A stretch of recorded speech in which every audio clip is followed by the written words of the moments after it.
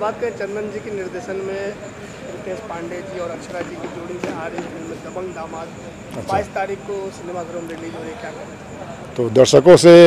मेरा हाथ जोड़ के विनती है प्रार्थना है कि आप उस फ़िल्म को जाके सिनेमा हॉल में देखें और उस फ़िल्म को बहुत सारा ढेर सारा प्यार दें और शुभकामनाएँ दें क्योंकि फ़िल्म चंदन जी ने अगर निर्देशन किया है तो फ़िल्म अच्छी ही बनी होगी। इसलिए जाएँ और सिनेमाघर में फ़िल्म को देखें और इसको बहुत प्यार दें आप। धन्यवाद thank you so much love you